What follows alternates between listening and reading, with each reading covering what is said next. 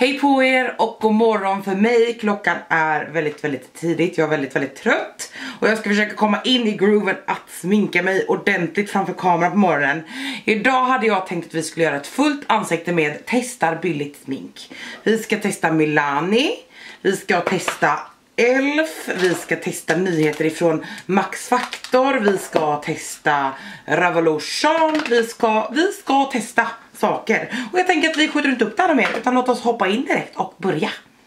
Det första vi ska testa är Elf Putty Eye Primer och eh, för er som inte, eller eh, för er som är nya här eller inte har tittat på jättemycket av mina videor så brukar jag alltid använda en färgad ögonskuggsbas som heter P. Louise. Det är ett brittiskt märke. Men idag tänkte jag att vi skulle göra någonting annorlunda. Det här är alltså Putty Eye Primer ifrån Elf. Och jag tror att den här är, vi ska se här, helt genomskinlig.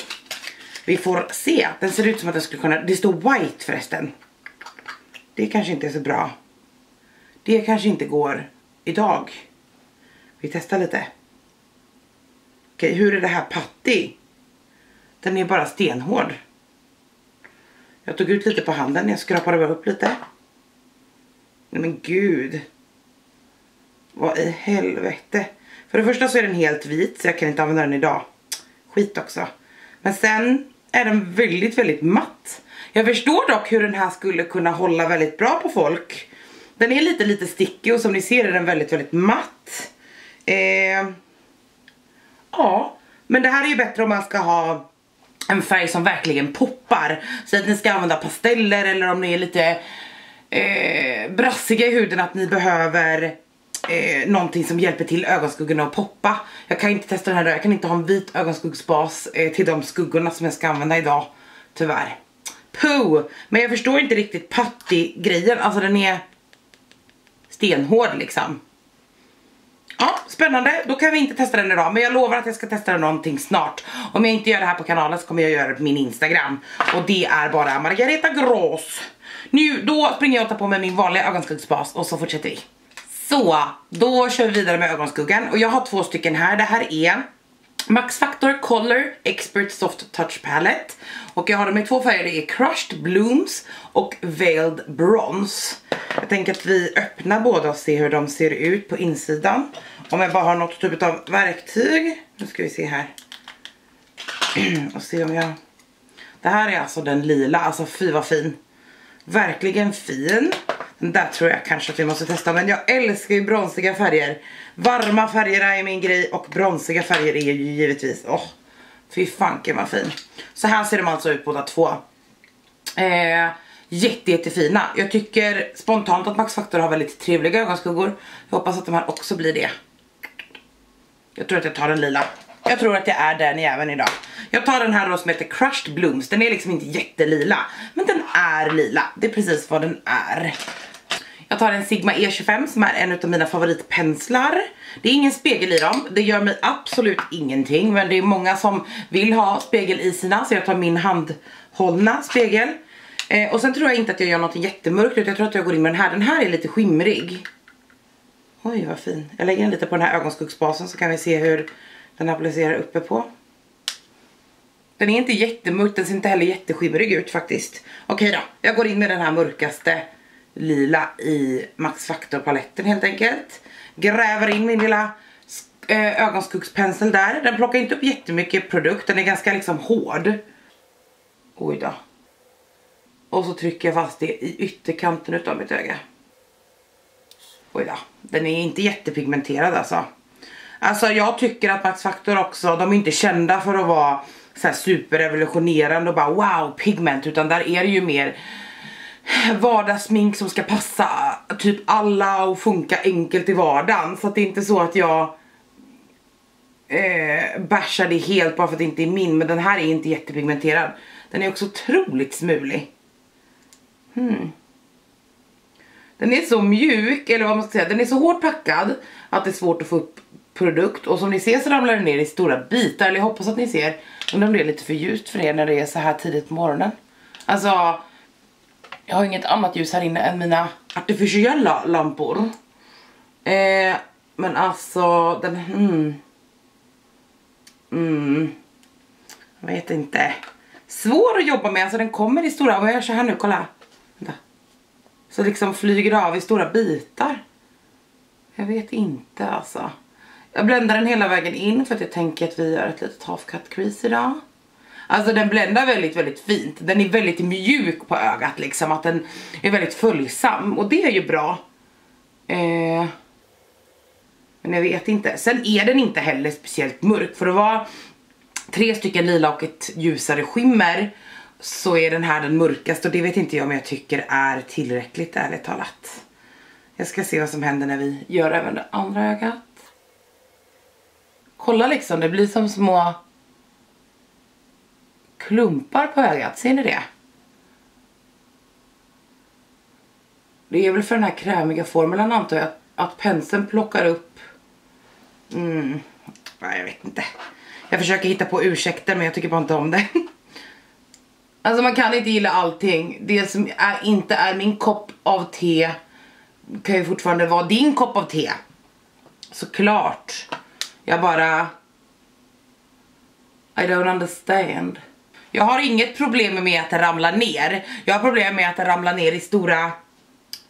Det blir som pigmentblobs liksom. Det är inte så coolt. Jag tar en blending brush, den är bara helt ren. Och går över kanten. Det är hela tiden pigment som krossas upp. Så det blir lite ojämnt tycker jag. Det blir mer pigmenterat på vissa ställen och mindre pigmenterat på andra ställen. Eh, och det är väl inte jätte så. Sen ser den här färgen ut på mig mer som att jag fått ett slag på ögat än någonting annat. Eh, så det här var nog inte riktigt min grej om jag ska vara ärlig. Jag ska ta bara teeny tiny lite produkt. Den ser liksom ganska smutsig ut, den ser ganska fläckig ut. It doesn't look amazing. Jag tar eh, en till lila. Jag går till nästa steg bara i samma pensel som blending brushen. Oj, den här plockar typ inte ens upp. Hmm. Ja, och så bländar jag i alla fall över kanten. Det kommer ingenting. När man bara, åh jag ska börja filma idag. Den här dagen ska bli the best day ever. Och så börjar man med det här. Ska jag ta en tredje pensel och se om det är penselfel då? Jag tar en lite rivigare pensel som liksom är lite mer kicky. Och det här är Morphe. Jag vet inte vad det är för nummer för det har jag skavt bort. Och sen tar jag då den ljusaste i färgen, eller i paletten. Den ljusaste typ matta eller vad man ska säga. Alltså de bländar ganska fint. Problemet tror jag, det huvudsakliga problemet är att eh, det är för lite pigment. Alltså det blir bara, det blir bara ganska blä. Alltså kolla här nu då, nu tar jag, okej okay, jag ska visa er så att ni ser att jag inte fuskar. Nu ska vi se. Jag tar den här och så tar jag den här ljusa och verkligen ni vet, jag gräver här i. Oj oj oj vad jag gräver. Så att det är massa pigment på penseln. Ni ser pigmentet lite grann mot den vita penseln. Sen har jag den vita basen här nu då. Och sen så trycker jag fast det. På vitt liksom. Och det är ordentligt vitt på min hand. Ni ser det är nästan ingen färg. Alltså det är lite färg men det är nästan ingen färg. Så jag vet inte fan vad de har tänkt när de gjorde de här. Hur kom den här igenom testrummet och bara oh! Det där säljer vi när det finns så mycket bra ögonskuggor i Kods för ett så litet pris. Jag kan inte hålla på med den här längre. Eh, jag vill se hur skimret ser ut i alla fall. Jag skär ut ett half cut crease, det gör jag med min ögonskuggsbas. Ni har sett mig göra det tusen gånger, jag kan inte göra det medan jag pratar. Så ni ser det antagligen över jag pratar om det här, som vanligt. Och så testar vi skimret. Så jag gjorde bara ett jätteenkelt litet cut crease. Eh, det blir inte så effektfullt när det inte finns något djup i ögonskuggan. Nu hoppas vi att den här skimriga skuggan som är här nere är någonting att ha för att annars så vet jag inte hur jag ska kunna gå ut så här idag. Men det är ju lugnt. Alltså de är fruktansvärt, gud den här, är det här? Ja, de här krämerna alltså. Alltså den här är ju, nu ska vi se. Den här är ju helt en kräm liksom. Alltså de andra är typ en puder och krämformula. Eh, och det är liksom, om jag inte kan jobba med det på något sätt, inte med fingret ingenting så blir det liksom svårt att jobba med. Men den här är ju verkligen en hel kräm. Eh, så ja, jag vet inte fan. Ärligt talat. Men den här var ju ändå fin. Och den jobbar precis som en kräm, inte en eh, cream to powder eller så utan den här blir mer, fast den är inte jättefin Margareta, nu försöker du bara att inte vara lika negativ. Den här var definitivt finare än de andra men den beter sig också mer som en, en kräm än en hybrid. Eh, så ja, jag vet ju fan. Det står då, på baksidan så är förklaringen Eyeshadow, smooth sensual powder to cream texture. Blend effortlessly in a finger stroke. Eh, nej, det gör det inte. Eh, jag testar lite här med fingret. Vad ska jag säga då? Jag tycker att den här som beter sig då mer som en kräm än som ett alltså cream to powder eller powder to cream eh, är ju bättre liksom. Men jag har svårt att få upp produkt, jag har svårt att blända ut den både med fingret och med, med penslarna så att det är inte bra. För mig är det så att ska det vara en cream to powder produkt som de säger att det ska vara, eller powder to cream, cream to powder, whatever. Då måste de vara lättare att använda än en puderskugga. För varför skulle jag annars sträcka mig efter någonting som är jobbigare? De måste va, det måste vara någonting som väger över. Någonting vackrare eller någonting enklare. Det kan inte vara sämre och fulare än en puderskugga för varför skulle jag någonsin använda det? Jag upplever inte heller att såna här typer av skuggor som är då eh, cream to powder eller eh, ja, cream to powder. Jag upplever inte att det håller lika bra på ögat heller. Jag kanske får låta er följa med idag bara för att se hur det ser ut. Jag ska jobba åtta timmar. Eh, men jag gillar det inte. Nej, jag gillar det faktiskt inte. Så jag satte på ett par lösögonfransar så att det känns lite bättre. De här får inte ett plus för mig. Eh, för mig spelar det ingen roll vilken typ av så, jag vet inte om jag gör jättefel men jag har jobbat med såna här produkter förut. Det finns ganska mycket såna här typer av produkter på marknaden och jag tycker inte, det borde finnas en fördel med dem att de är jättefina eller jättefina här. Nu när ögonsminkningen liksom är färdig så känner jag att de är fina, det är inte det. Färgerna är jättefina, det ser ut som en pastellig mörk, eller pastellig lite grålila liksom. Jättefin, jag tror att många skulle tycka om dem. Men jag tycker ärligt talat att det finns bättre skuggor på marknaden. Och jag tycker att Max Factor har gjort bättre skuggor. Jag tycker inte att det här är liksom i topp med vad de brukar kunna göra. Men det är lugnt, vi har lite mer Max Factor så kan få ta revansch om en liten stund. Eh, eller egentligen, vi kan köra den ena direkt och det är att vi har Max Factor Real Brow, Fill och Shape. Det är en eh, vanlig liten penna och sen är det, nu ska vi se, jag ska bara öppna den här. Sedan är det som en liten skugg grej på ena sidan. Och jag har redan gjort eh, mina brows, br alltså soap brows. Med andra ord jag har lagt i lite såpa i dem tänkte säga, det har jag inte gjort. Lite eh, tvål. Så jag kommer bara att eh, fylla i lite grann. Jag har framförallt lite här borta. Oj, väldigt vaxig penna, det gillar ju jag.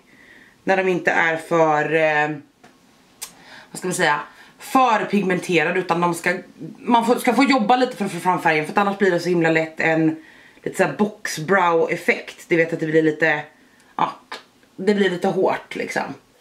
Fin färg. Det här var i färgen, nu ska vi se här. Ja, det står faktiskt inte. Det står bara real brow. Inte kan den här bara finnas i en färg eller? Det här ser ut som att det skulle kunna vara en dark brown i alla fall. Men jag vet faktiskt inte. Det står ingen färg på förpackningen. Det är ju dumt. Fin färg på mig, passar mina riktiga bryn för jag har inte de färgade just nu. Fenomenalt bra. Ska vi testa den andra sidan också lite kanske? Jag gillar att den är vaxig, den här mycket mycket bättre. Jag tar lite lite skugga så här. Åh oh ja, för att få lite mörkare bryn idag då. Sätter sig jättefint uppe på uppe på sopen. Så att det bara blir lite lite mörkare. Nu ska vi se. Mm. Jag ska bara ta min lilla spoolie. Den här gillade jag mycket, mycket bättre. Den här gjorde de jättebra. Trevlig litet skaft eller liksom penne så att det blir fina hårstrån och eh, fin färg. Och jag gillar brynskuggan också faktiskt. Åh, oh, I like that a lot. Låt oss fortsätta. Jag har ingen primer för vi ska testa en CC cream idag. Men jag tänkte att jag skulle ta lite face mist. Det här är från Isadora, det är första gången vi testar den här med. Och jag tänker att jag använder den lite som en primer. Mest för att jag ville ha lite lite extra fukt i botten. att jag känner mig ganska torr. Mina eksem är lite balliga, jag har lite munsår, lite sådär, jag känner mig allmänt lite, lite blä i huden. Det här är den vi ska testa då, det är Revolution Pro CC Cream Perfecting Foundation med SPF 30 och den är i färgen F3. Och den här är ganska länge sedan jag beställde, det har bara inte blivit av. Och det är så många som tycker om den här på the internets. Så jag tänkte att jag skulle eh, testa den här. Det står att den är moisture rich. Jag ska ställa bak mina små flärpar här på håret. Det står att den är moisture rich. Det ska vara en återfuktande men ganska hög täckande eh, CC cream. Den ska vara fulltäckande. Och det står att den har hyaluronic acid, kollagen och antioxidanter. Låt oss testa. Det är många som jämför den här med eh, CC-creamen ifrån It Cosmetics. Jag tror att det är bland annat Lisette Alfredsson som har gjort en sån testarvideo bredvid varandra. Jag hoppas inte det för det är inte en tvärfavorit hos mig. Men låt oss testa, hoppas att färgen är okej nu då. Jag tror det. Jag tog ut två pumpar. Oj, den är väldigt, väldigt tjock. Det är ju också CC-creamen ifrån eh, It Cosmetics. Den luktar i alla fall inte som CC-creamen. den är, om ni någonsin har doftat på den, jättecitronig. Det är inte den här. Låt oss blända. Jättefin färg tror jag. Jag tog, försökte ta, nu kommer inte jag ihåg för det är ett tag sedan. Jag försökte ta en ganska neutral färg då. Jag skulle säga att den är eh, något mer rosa än gul. Den är liksom inte helt neutral. Neutral är ju en mix av båda undertonerna liksom. Den är väldigt, väldigt tjock eh, och det är väl för att den ska få den fulltäckande grejen. Eh, ja, den är också ganska rosa. Ser jag nu. Ju mer jag bländar ut den så är den ganska rosa. Mm. Så att man är medveten om det om man ska beställa den. Men fin, eh, fin färg, fin finish. Den är som sagt ganska tjock. Det blir direkt lite som ett färglager på huden. Och det är inte nödvändigtvis någonting dåligt man får bara ha det i tankarna att det kommer inte vara en superlätt och rinnig foundation liksom. Eh, jag tycker att det är enklast egentligen att applicera en sån här lite tjockare foundation med en borste först. Men den hade inga problem att eh, alltså sprida ut sig. Det är inte så att de la sig i klumpar på huden. Ibland kan det göra så att man får använda en borste först och sen... Ja, den här ser fin ut något tung tycker jag. Jag tycker ändå att två pumpar är nog ganska rimligt. Eh, jag gillar ju ganska mycket smink som ni vet men två pumpar känns ändå ganska rimligt. Jag hade inte behövt två pumpar någonstans, då vet jag ju det till nästa gång. Fin lyster, den känns inte liksom jobbig på huden men den är ganska tjock, jag ser väldigt sminkad ut. Så att för mig ska en CC Cream vara en ganska lätt produkt och det tycker inte jag att den här är. Eh, men det är bara min åsikt vad jag tycker om i en CC Cream. Om jag vill använda en CC Cream och inte en foundation, då vill jag ju ha någonting lätt liksom de gångerna det händer. Men jätte jättefin förutom att färgen är slightly, slightly, slightly lite mer rosa än vad jag hade velat ha den. Men fin! Så ja, den är eh, fin. Jag vet inte vad mer jag ska säga. Jag tänker att ni får en liten check-in idag när jag kommer hem från jobbet efter sådär 8-8,5 timme någonting liksom. Men F3 var alltså färgen, den här. Den ser fin ut, den sitter fint på huden. Och eh, ja, jag ser fram emot att se hur den ser ut under dagen. Jag har två stycken krämprodukter till. Och för det första så har jag L'Oreals senaste concealersläpp och jag har fått den här hemskickad i fem olika färger. Det är alltså L'Oreals, nu ska vi se, True Match Eye Cream in Concealer. Och jag har fått den här i fem färger och några färger får försvinna direkt men jag kan tro att Ivory Beige kan funka. Det här ska alltså vara en... Eh, det här ska alltså vara en produkt som har både en ögonkräm och en concealer liksom part. Vi ska se här. Eh, den här skruvar upp tror jag så att det är som en liten penna. Ska bara försöka få av plasten. Men det ska liksom vara både, både ögonkräm och concealer i ett då. Jag såg att den här hade blivit nominerad i några så här skönhetsawards och så, Daisy Beauty och sådär. Och det känns ju lovande att det är många som har nominerat den. Så den kommer alltså i en sån här liten penna. Det gör också att jag tror att det är relativt låg täckning, jag har ingen aning. Eh, men den har fått väldigt, väldigt fina recensioner. Eh, så låt oss testa. Det har kommit upp lite produkt. Jag tror, vänta. Oj då, den här färgen. Okej, okay, den här kan jag inte använda. Det här hade kunnat vara en brons för mig, vilken tur att jag inte la på det. Fick jag någon mer riktigt ljus färg då? Det är frågan. Rose Porcelain. Frågan är om jag kommer tycka att den är alldeles, alldeles, alldeles, alldeles för rosa. Och jag är redan lite rosa ju. Hade det bara varit den rosa concealern så hade jag inte stört mig. Men jag är rädd att jag ser lite grisig ut. Nu ska vi se. Helvete vad de här plasterna satt bra då. Oh! Vi testar den här i alla fall. Istället, alltså den här är ju straight up gul på mig. Oj oj, vi lägger den här bredvid. Och den här är straight up peach. Fuck eller fuck. Då får vi verkligen fokusera på upp under ögat. Jag lägger här uppe. Där jag ändå är mörk. Där det här peachiga då, eller det här laxrosa kan slå ut det mörka under mina ögon. Som syns extra tydligt. Den är väldigt, väldigt lätt. Det ser jag direkt att den är väldigt eh, tunn i konsistensen. Jag tar direkt lilla svampen. Ooh! Okej, okay, för det första så slog den bort all mörkhet. Jävlar vad jag önskar att jag hade gjort ena ögat så ni hade kunnat se skillnaden. Oj, det trodde inte jag. Holy shit vad fin. Den känns inte alls. Den ser jätteåterfuktad ut. Alltså det, det märks att det är en ögonkrämsvariant. Men oj! Okej okay, för alla, det är typ en lätt till medium täckning men eftersom just den här färgen på mig var lite så här peachig laxrosa så slog det bort mitt min mörkhet under ögonen utan att ha så mycket täckning. Jag är i chock, den här var jättefin. Hur känns det då? Det känns fantastiskt. Alla som är mörk under ögonen eller eller, eller, eller har lite problem med att det lägger sig rynkor och så kan jag tänka mig att den här funkar för. Det här är alltså färgen som jag använder nu är Rose Porcelain. Det är inte en färg som jag hade valt till mig själv. Men jag är jätteglad att jag testade den. Den ser jätte, jättefin ut. Ska bli jättespännande att se hur den här sitter under dagen. Men verkligen en återfuktande formula. Shit! Innan jag sätter med puder så ska jag också testa Face Cream Contour Palette ifrån Makeup Mecca. Den här har legat lite åt sidan hos mig för jag glömde den här när jag testade Makeup Mecca i en video. Och sen har den liksom, den har legat här. Och jag tänkte att det blir väl perfekt nu när vi ska testa lite budgetsmink. Så den här testar vi idag tänkte jag. Så här ser den ut. Jag tror att jag kommer framförallt fokusera på de två mörkare färgerna.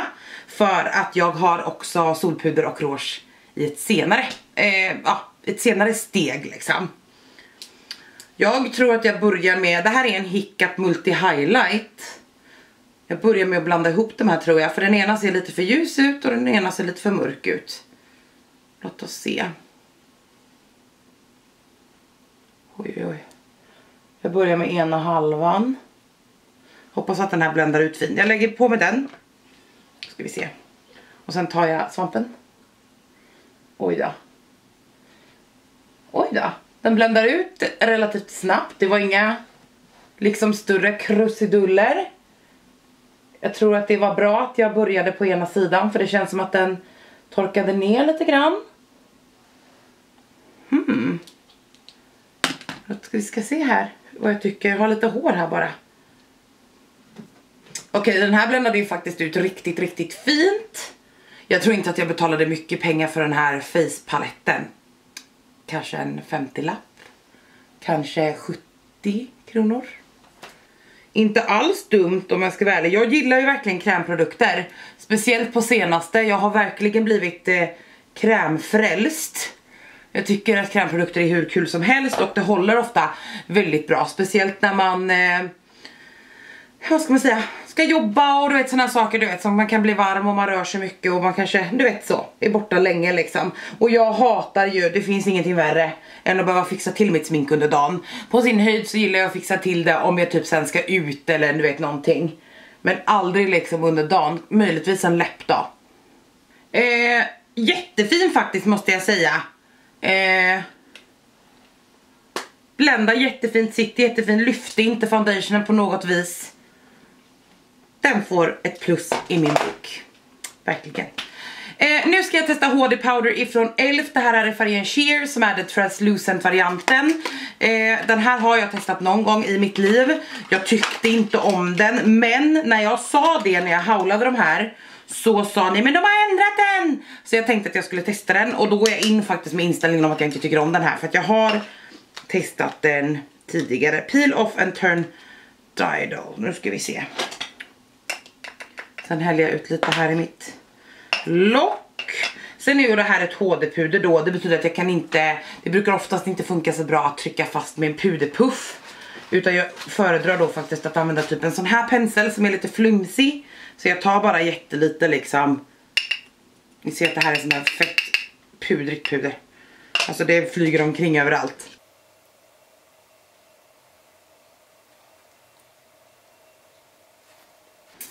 Helt okej, okay. inte lika dåligt som jag trodde att det skulle vara. Men det är ett traditionellt HD-puder.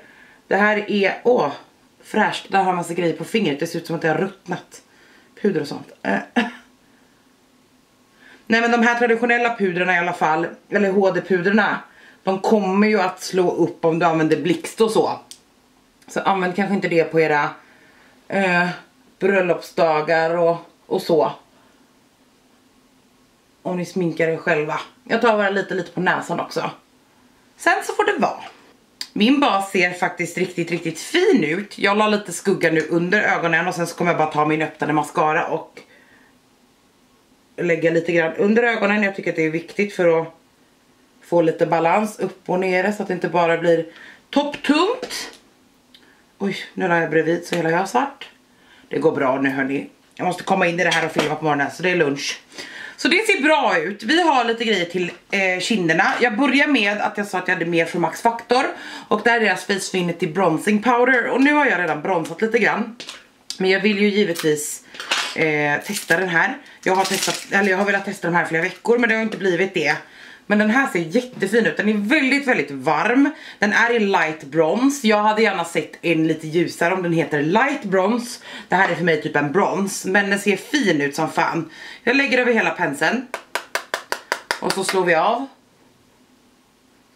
Och väldigt mycket värme. Det kan vi säga. Men väldigt väldigt fin färg. Alltså jag gillar varma, äh, varma bronsers och det tror jag många av er också gör. Man ska bara vara medveten om att den är varm. Och bronser är ju varmt men de kan också vara lite mer neutrala och så. Den här var jättefin, oj oj oj, superfin. Även den här saknar eh, eh, spegel i, jag, för mig är det helt okej. Okay.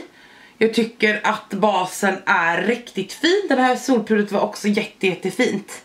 I like it. Som rouge så har jag eh, Milanis eh, Baked Powder Blush i Rosa Romantica. Och de här har ju fått dödligt mycket praise. Så jag är sjukt taggad på den här. Det kommer med en sån här liten onödig pensel. Det förstår jag inte, men den kommer i en bakad format så här. För några år sedan så var ju det här all the rage. Jag tar en pensel här.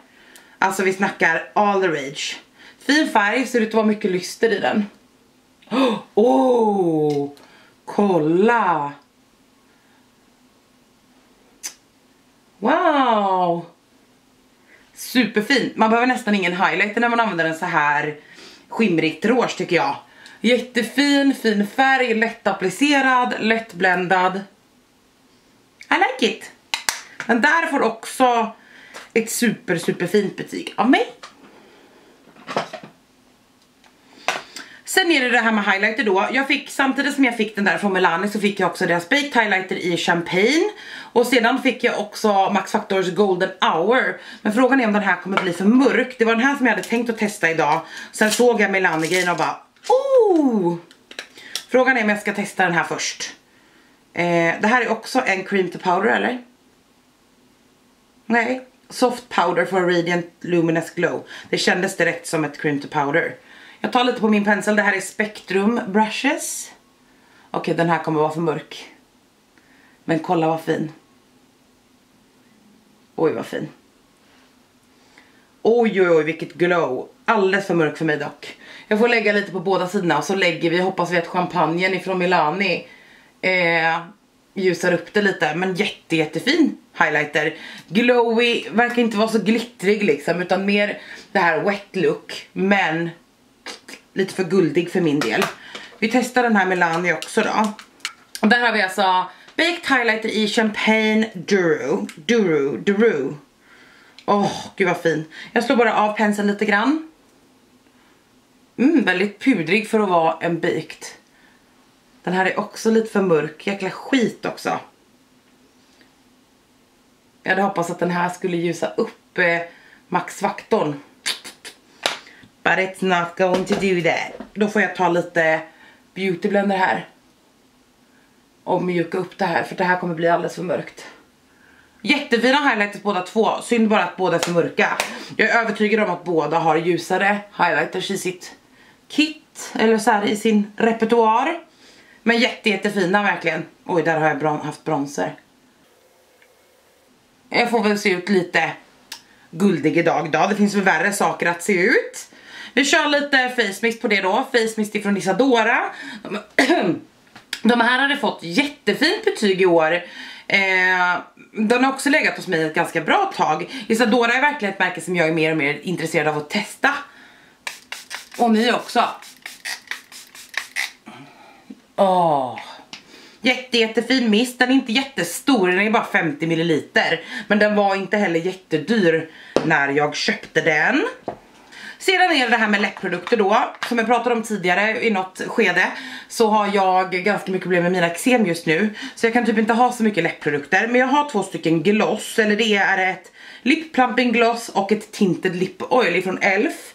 Och jag tror inte jag vågar testa den här plumpande, för om den är mycket plumpande så kommer jag att få pissont på mina eksem. Synd för att den här var jättefin men jag älskar också lip oil så jag hoppas inte den här är supertinted för att jag korall till det här kanske inte är det bästa. Men det ska alltså vara en läppolja som är lite lite färgad som jag tänker att vi testar. Gud vilken lyxig komponent, den är tung och väldigt rejäl. Den har en liten skopa på själva applikatorn. Mm. Åh, oh, jag älskar känslan av läppoljor. Den är inte jättepigmenterad så man kommer definitivt undan med den här idag.